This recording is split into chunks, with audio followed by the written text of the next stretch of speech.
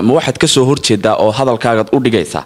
Anigu waxaan ka soo horjeedaa gabadhu iyadoo og inuu ninkani faqiir yahay inay guursato. Ma taasaad ka soo horjeedaa adigu? Daan khaldamay oo aan qalad aan sameeyeyna. Macallinkaygu ay hor jooga raaligelin baan bixinaya ad baan idinka raaligelinaya marka hadalkii aad raaligelin ka bixinaysaa sida ha raaligelin baan ka bixinayaa. Macallinkaygii baa ay hor jooga macalinkaygana calaa cayn waraassoo dhowow hadal baa baxay xalay aad jeedisay oo aad muxaadaro magaalada hargeysa ka dhaceysa ka jeedinaysay. Bal ujeedka hadalkaagii halkii uu ku socday iyo sida uu ahaa bal daawadayaasha tuhunka saar. Acuudu billahi min ashaytaan rajiim. Bismi illaahi raxmaan iraxiim asalaamu calaykum waraxmat ullaahi wabarakaatu run ahaantii magacayga waxaa layaha mune axmed maxamed. Waxyaabo badan ayaan xalay toole aan ka hadlay oo ciidda ka badan oo waxtar leh oo waxqabad leh. Laakiin intaa la soo qaatay dadku isla dhex marayaan.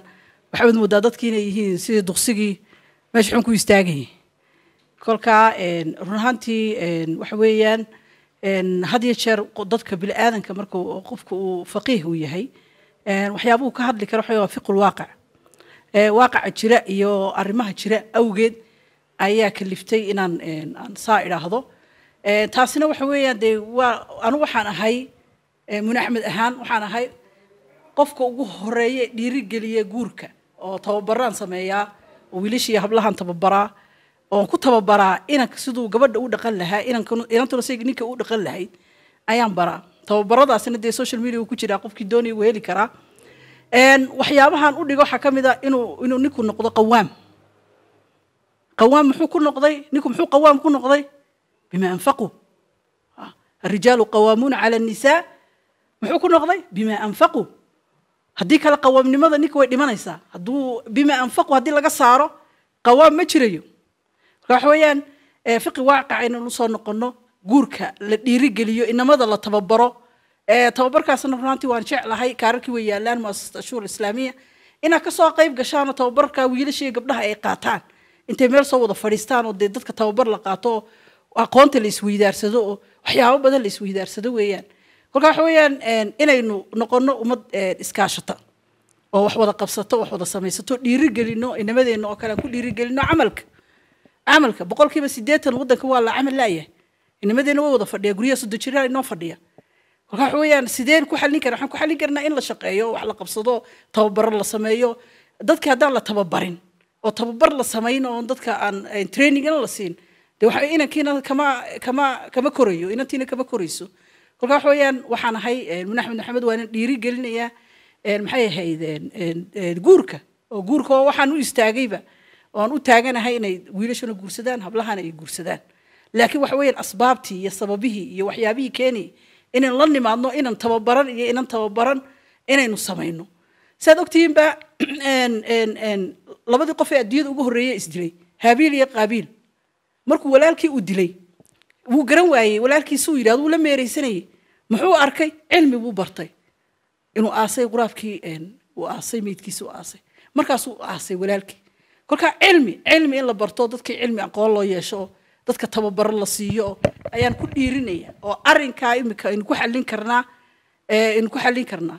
Adduunyadana dee ma soconayso rasuulkeena sala allahu alayhi wasalam wuu yidhi xalay tolna waan ka sheegay famin istadaaca minkum ilbaa'ata baa'ata waa maxay? Inuu awoodi karaa ka kalena waa soom inuu soomo. Kolka waxa weeyaan waxaan ahay anuu qofka ugu horreeya ee reer somaliland ee dhiiri gelinaya inay inamadu iyo habluhu guursadaan.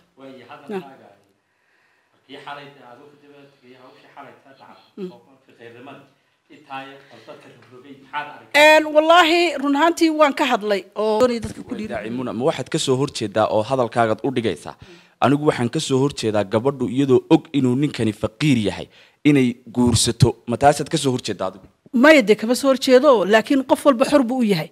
Waad aragtay inantaadii adigoo waaninaya oo kule hooy iska daa inan kan kuuma ficnay ayay iska daba raacaysaa.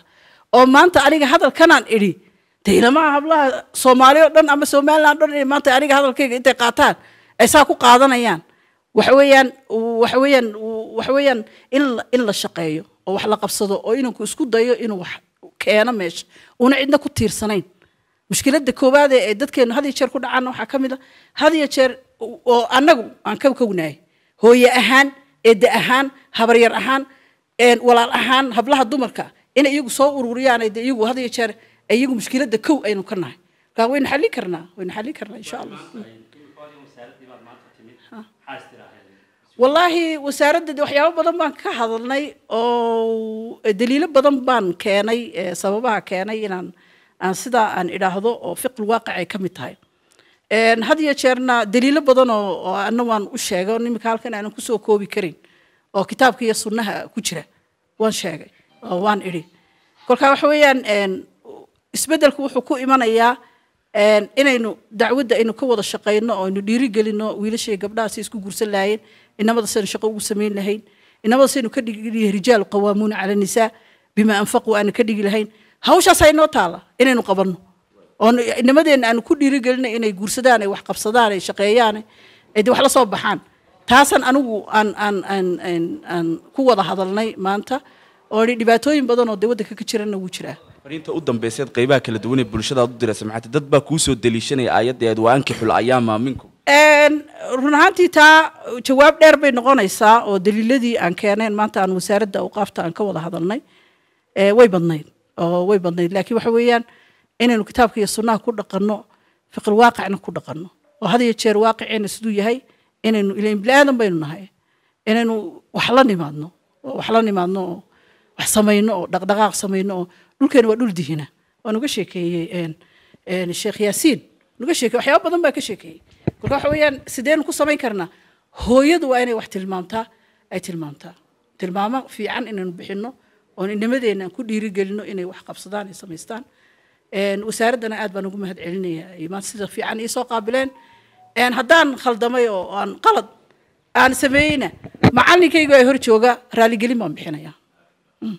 aad baan idinka raaligelinaya marka hadalkii aad raaligelin ka bixinaysaa sida waxbaa kala duwan ha ha raaligelin baan ka bixinayaa Een, macalinkaygii baa ay hor jooga macalinkaygana calaa cayn waraas macalinku wax weeyaan waa waxaan loo waxba looma dhigi kara dee ha raaligelin buuxda ayaan ka bixinayaa macalinkaygu wuu hor taagan yahay sharaf iyo cizi buu agtayda ku leeyahay